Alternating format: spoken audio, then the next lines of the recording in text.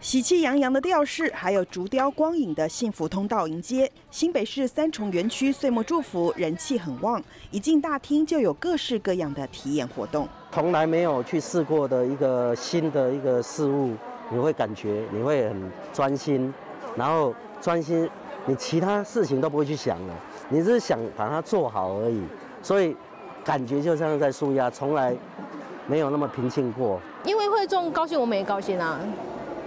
然后我们也可以来个国际赈灾水洗，我是觉得是 OK 的啦。古筝演奏，琴音悠扬，营造出迎新年的氛围。王素美两年前罹患肺腺癌，如今抗癌成功，也把握时间付出。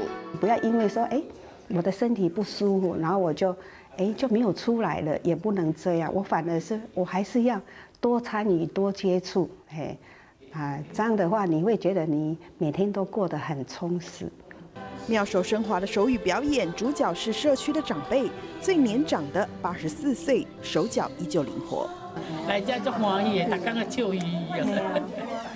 所以你来家嘛真快乐，真快乐的哦，足好过。我就是安尼，足欢喜的，我拢爱在家。从静思金社法师手中接过福惠红包，也接下一整年满满的祝福。去做代志吼。也会当互人讲很感动啦，大家拢足足有迄个心啦。